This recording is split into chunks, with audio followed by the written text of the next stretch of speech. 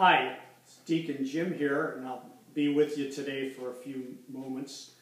I'm here at my house in Bel Air, been here for about six weeks, probably like many of you.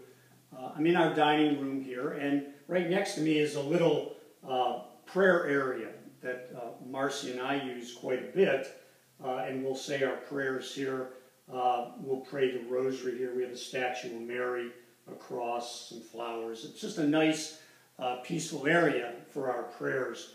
Excuse me. I want to show you what I've got here is a, a rosary, and this is actually my grandmother's rosary. It's really old and it's really fragile, barely staying together here. But I want to tell you a little story about this rosary today. I was down in Florida uh, in early February, and I was visiting my brother down there who lives there, and my sister came from Michigan. So the three of us with our spouses were down there for a couple days. So my brother, the youngest of our group, he has all the uh, old pictures of our family, and he has uh, some of the different objects from their lives uh, that he kept. So we brought him out and we started looking at everything in the pictures. One of the items brought out was this rosary. And it was my grandmother's, and he said, Well, Jim, why don't you take it? I've got so many things here. So I thought that was really neat. So I brought the rosary back here uh, to Bel Air. And my grandmother, just to say a couple things about her, just a wonderful woman. She lived till she was 92. Uh, just a kind, caring woman. And she was such a force uh, in my life and my brother and sister's life. Just always kind of watching out for us and uh, just being so nice to us. Uh, she was a widow for 50 years. You believe that? 50 years. But she never complained. She just kept going forward. And the thing I remember the most about her was her faith. It was so strong. Always praying, always praying a rosary, going to church all the time. She never wavered in that faith, even though she was without her spouse for all those years. So my grandmother was just very special to me. So to have this rosary, it was just, just such a neat thing. So when I got home from Florida, I had the rosary in the house and I took it out, and it, it, it's fallen apart at this point. I mean, it was breaking, and I'm like, oh my, what should I do? So I went into the backyard and I decided I would bury the rosary.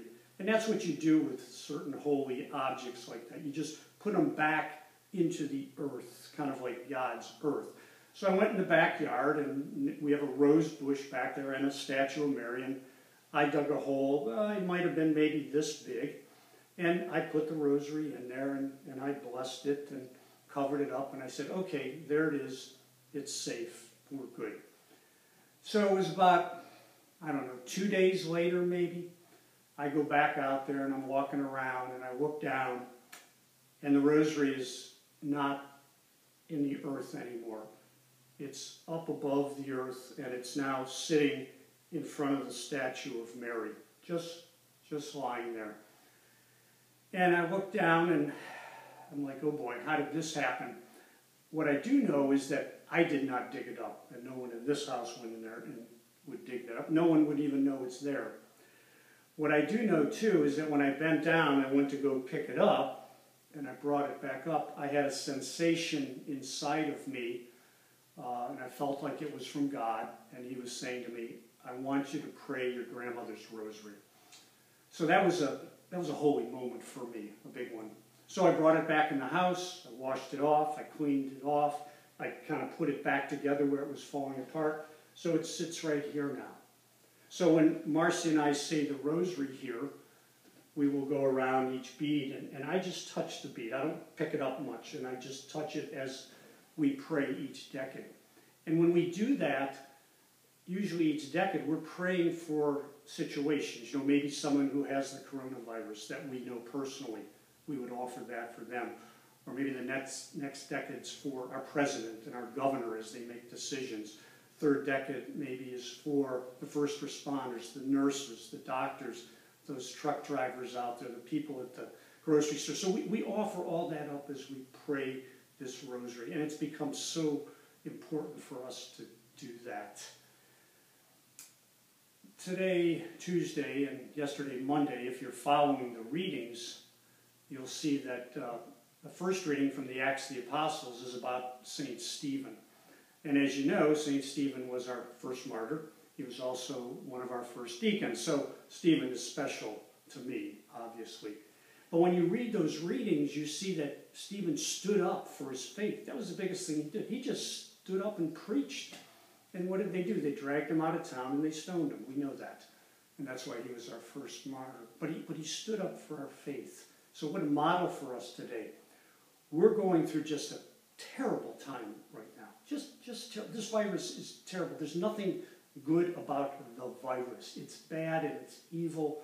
It's killing people. It's havoc on our lives, havoc on our economy. So many things about it. But I really feel like it is such an opportunity to stand up for our faith right now. What a great time to do this. And one of the biggest things that we can do is our prayer life. I know myself, I'm elderly, I can't go anywhere, but I sure have time to pray now.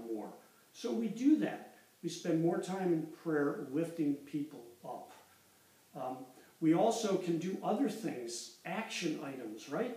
We can call people call our elderly people that we know, call people we're worried about, see how they're doing. Zooming people has become a rage, and we're all doing that, getting together with family, and we can see how everybody's doing. And the other thing is we can bring some food if you can, if you can afford it, some canned food, some non perishable, and bring it out to the mission. There's just a couple boxes out there. Marcy and I went out there this week. We just went out there, stopped in, had our masks on, got out of the car, put the stuff in the boxes, washed our hands, you know, with disinfectant, and got back in the car. There's so much need for the homeless right now and those who need food in Harford County. So there's so much we can do to stand up for our faith. It's kind of interesting. Our church is shuttered right now, right? We can't get in that building.